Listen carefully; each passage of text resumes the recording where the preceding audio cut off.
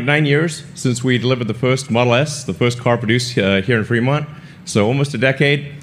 And uh, I think we've we're really taken it to a whole new level with the, the with Plaid. Uh, you know, what we really wanted to achieve here is like, well, why you know why make this really fast car that's crazy fast and everything? And uh, I think there there is something it, it, that's quite important um, to the future of sustainable energy, which is that uh, we we got to show that an electric car is the best car, hands down.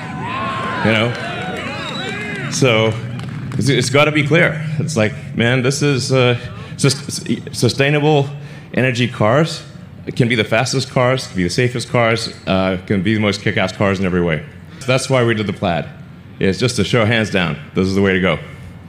With Plaid, we, have managed to break the, uh, the, the two-second barrier, if you will. The, no, no production car has ever uh, done zero to 60 in under two seconds. And, and this is this is a, a four door car, seats five adults. I mean, this is like what I, what I call like uh, limit of physics engineering. It's not relative. It's like uh, what does physics say we can do? Because physics is the law and everything else is a recommendation.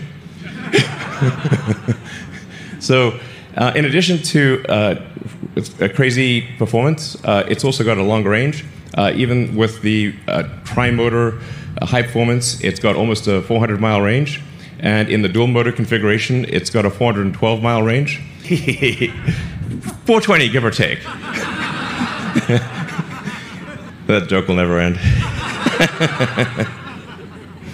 So, and, and we've also improved the super, supercharging speed, so you can uh, get 187 miles of range in 15 minutes. This is really something you have to feel to believe, because it hits you, hits you right in, the, right in the limbic system. It's like, damn, like, whoa.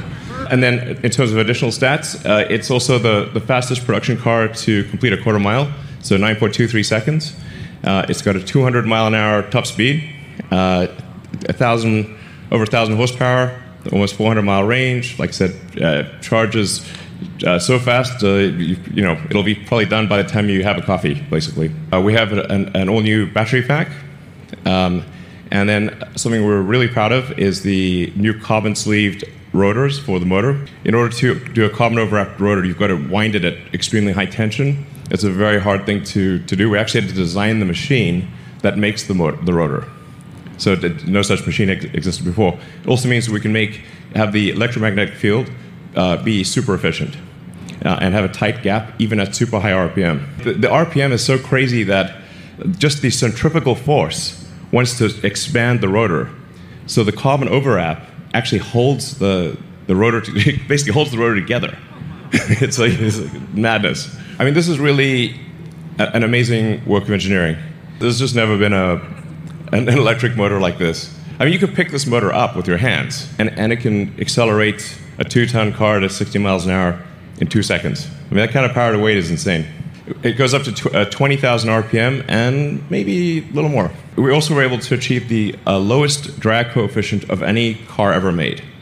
Really, I think te- Tesla engineering has outdone itself here. Uh, this is a car that looks good, but also gets an, uh, an incredible drag coefficient. And this is uh, take this is the, the true drag coefficient of the car, including um, with wheels in motion. Sometimes you'll hear drag coefficients quoted, but that'll be without the wheels moving. And the wheels cause sort of air churn and incremental drag. And uh, this is the actual drag coefficient of the car. We also have the latest uh, and greatest uh, in heat pump, which is the basically the HVAC system for the car. Uh, it's 30% better cold weather range and requires 50% less energy for cabin heating in freezing conditions. You'll see very little degradation in cold weather. You'll be able to actually do back-to-back 0 to 60s, um, go on the track, just haul ass, and uh, as you'll see tonight, this car is just going to do over and over again, and it doesn't get winded. We got to take this uh, back to maybe the Nürburgring. To see what happens. We're, we're just going to keep going so that you can basically travel anywhere you want. Uh, with peace of mind, super easy. Keep increasing the, the power of the superchargers. Uh, you know, we're 250 kilowatts. So obviously, that we'll, we'll start going to you know 280, 300, 350. Yeah, it's also engineered for uh, maximum safety as well. So Uh, in fact, this is designed to be the, uh, our aspiration for this car. Um, it still has to be tested by the US government, but uh, we think we can uh, get the, the lowest probability of injury of any car ever tested. These are the actual NHTSA probability of injuries numbers.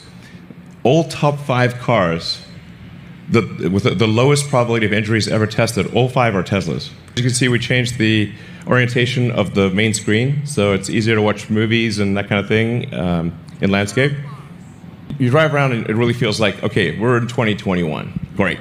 We, we have the, this yoke steering wheel, which is a little different, but I think once you try it, you'll think this is, it's, it's great. Um, the, you, your, the visibility uh, of this, the, the main screen is, is super clear, especially for uh, autopilot. So you can see the entire panoramic view of, you can basically see the mind's eye of the car. Gotten rid of the stalks. So, like, uh, you know, I think generally um, all input is error. So we, we want, if, if you have to do something that the car could have done already, uh, that should be taken care of. The software should just do it. So you can actually just literally walk up to the car, it senses that you're approaching, unlocks the car based on your phone. It just basically pairs with your phone, knows that you're coming to the car, opens the door, op- op- extends the handle, you sit down, and you just drive you don't you don't have to uh, press the drive or anything like that. The car knows you want to drive. It figures like, yeah, good guess, you know. so, and and then and then it's using the autopilot system to know where the obstacles are. So obviously, if there's something in front of you, you want to go backwards, and if there's something in uh, you know in back of you, you want to go front. Most likely, um, it will adapt to your. Uh, to, to your needs. So if it sees that you're always doing uh, this, you know, you're changing to reverse or forward in particular situations. It'll try to remember that um, and ge- geocode it to that location, so then you it'll, you won't have to do it in the future. It'll, it will just keep uh, minimizing the amount of input that you need to do until the car just reads your mind. And it's, it's a 36 watt power supply, so you can actually charge like your you know, laptop or anything. Basically, it's got it's a 36 watt uh, USB-C. The 17 inch touchscreen is it feels like a, a movie theater. The, the sound is incredible. Um, it's, it's like a home theater experience. So if you're, if you're sitting somewhere waiting or for whatever reason or at a supercharger, uh, you can just catch up on what your, your favorite Netflix show or iTunes or whatever the case may be, YouTube. And of course, uh, you can also play video games. We have an all new uh, uh sound system designed by Tesla Audio. This is a Tesla designed uh, codec, so uh, it will keep uploading improved versions uh, of the sound system. It's, it's, it's, completely software defined, so we'll, we'll, keep tweaking it and dynamically adjusting to whether uh, you're using uh, so streaming or whether it's coming uh, via Bluetooth from your phone or different streaming services.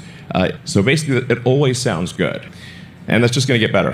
There's never been a car that has state of the art computing technology, state of the art infotainment, where uh, this is literally uh, at the level of a, of a, PlayStation 5. If you think about the future where the car is often uh, in autopilot or full self driving mode, um, then entertainment is going to become increasingly important. Um, so you're going to want to watch movies, play games, use, use the internet, just little thing, you know, things you want to do if you're not driving. This is uh, actual PlayStation 5 level performance. So it can play Cyberpunk. this is somebody playing the car right now, play, playing live. High frame rate will do 60 frames a second um, with state of the art games. So uh, we got uh, uh, incredible performance, interior of the future.